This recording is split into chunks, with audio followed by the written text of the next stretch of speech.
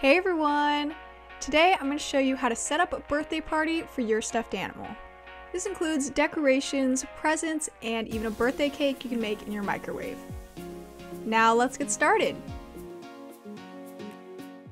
Okay, first I'm going to show who I'm making this party for. You probably already saw in the intro, but I'm going to be making this for my Beanie Boo Hedgehog, Pinky.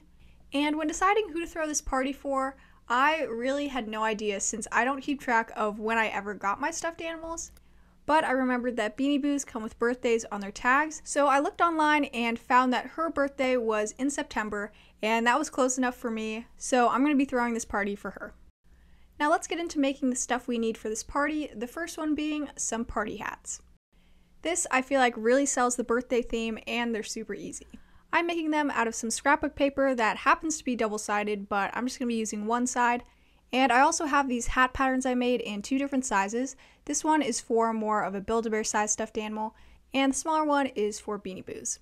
You can always use regular paper for this. It would probably be really easy to make a confetti pattern like this using just markers. After cutting out the pieces, I can roll these up, and you'll notice that one side of this kind of triangle shape is longer than the other, and that's the side you want to start with as you roll this into a cone.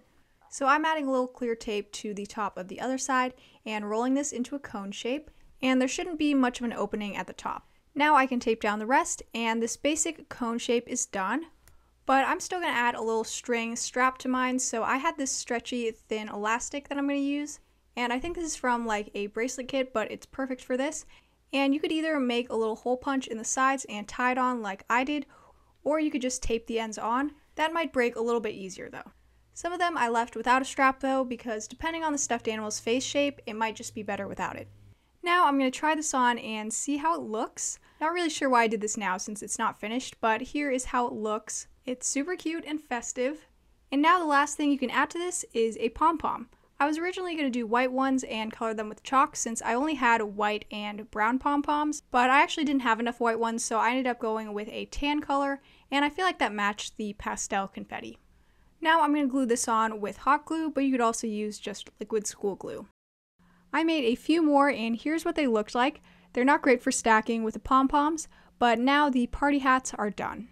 The next thing I'm going to make is a little happy birthday banner and this is really easy. I'm just going to take the same paper as before and some string. I have this light blue yarn. And I'm just going to fold pieces of this paper in half and then cut out a triangle shape. And I'm going to cut out enough flags to be able to spell out happy birthday on it, so I needed 13 of these. Next, I can assemble this by cutting my string to about a foot since it's going to be a pretty small sign. And now I can add glue to the inside of the triangles and fold them in half with the string inside. And now I can just keep doing that for the next four flags since I'm going to have happy on the top and then birthday as a separate one. But yeah, that's pretty much it. Once I've made both signs, I can start adding the letters on. If you have like letter stickers, that would be great for this, but I didn't, so I just used a Sharpie to write happy birthday. I went back in to dress up the font a little, but it's not very noticeable. Now that's it for this happy birthday sign. I also wanted to show this little banner I made a really long time ago. I think I just used it as room decor, but as you can see, I just used normal printer paper and then added some polka dots to it, and the string I used some braided embroidery floss. So this is definitely one of my easy go-to decorations. Next, I'm going to start getting together some presents.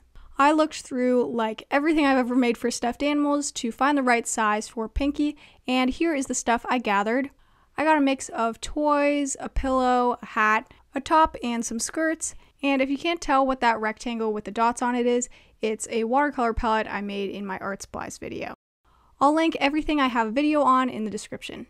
I also grabbed some small boxes I happen to have to wrap some of these. These were still really big for a Beanie Boo though, so most of these I wrapped without a box. This is also a great way to use wrapping paper scraps because these are way too small to wrap normal things, but they were big enough to wrap some of these items. Now this next part is pretty self-explanatory, I'm just wrapping up all these gifts. I tried to use as many different wrapping papers or just regular papers as possible so it looked like different people gave her the gifts. And I even had some tiny gift bows, so I finally put those to use. Now that all the presents are wrapped up, it's time to make the cake. To make this really easy, I'm going to be making a mug cake which can be cooked in the microwave.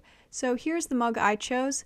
I plan to take my cake out, so I chose a mug with pretty straight sides. And I'm going to start by melting 2 tablespoons of butter and adding 2 tablespoons of sugar to that. Then I'm going to mix that up. I wish I'd used a spoon though because later I really want to scrape to the bottom of this mug. Next, I'm going to add 1 4th cup plus 1.5 teaspoons of flour, 1 4th teaspoon baking powder, and a pinch of salt. Then I'm going to add 3 tablespoons of milk and a little splash of vanilla. I think the cold milk hardened the butter a little bit, so it might be a good idea to mix the dry ingredients in a little before adding the milk. And since I wanted to make this a confetti cake, I'm going to add a teaspoon of sprinkles. Now I'm going to pop this in the microwave and cook it for 70 to 90 seconds. I think I only started with 60 seconds because I was afraid it was going to be dry. But you'll see later it ended up being a little uncooked, so it definitely needed 20 or 30 more seconds. You can use a long thin knife to poke it all the way to the bottom, and if it comes out without batter on it, it's good. Now, before eating this or taking it out like I am, make sure to let it sit for at least 5 minutes to cool. And I think that was part of my problem because it came out kind of a mess. Obviously, a mug cake is not as sturdy as a regular cake you'd bake in the oven, and this didn't have eggs in it. So it was looking a little rough and raw on the bottom, but I was planning on cutting that off anyways to make the cake shorter. Okay, now I have to warn you, what you're about to see is not going to be pretty. I was having one of those full on baking show moments where everything's going wrong, but you have to finish it. So let me just set this up a little more. I frosted the cake with buttercream since my sister recently made a cake and had extra frosting, so I decided to just use it. But it is kind of a lot of work to make buttercream, so if you really want to add frosting, I'll leave a recipe for a really delicious chocolate frosting, kind of like a glaze I use all the time. And trust me, it could make anything taste good. Also, that raw cake I cut off, I actually recooked in the microwave, and it was actually really good. I feel like mug cakes tend to disappoint me, but that was like pretty good cake. Anyways, I'm still trying to frost this cake and hold it together, but it wasn't looking too great with this light purple color, rough all over look, so I finally moved it to this little cake stand I happen to have. I think I got it from Michael's.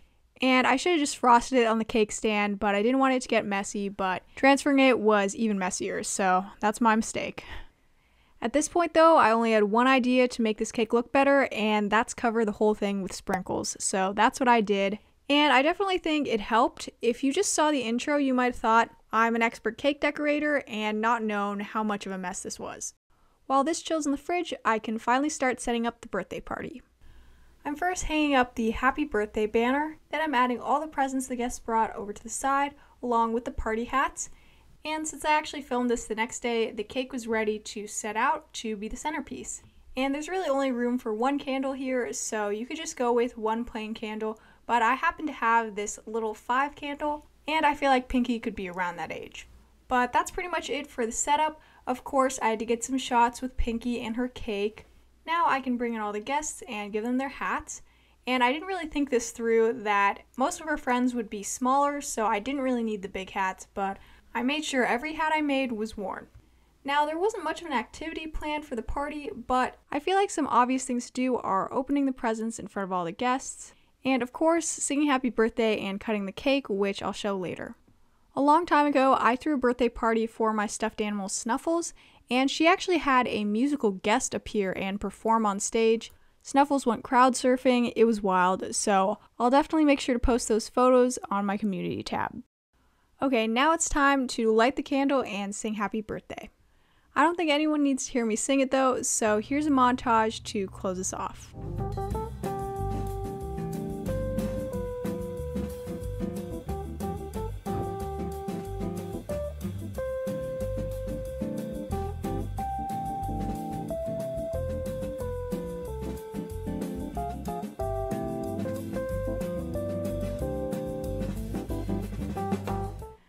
Hope you enjoyed this video, especially those who requested this idea. Please give this video a like, comment any video suggestions you have, and subscribe if you haven't already. I'm almost to 5,000 subscribers and I'll definitely do a special video when I reach that. I'll see you next time. Bye!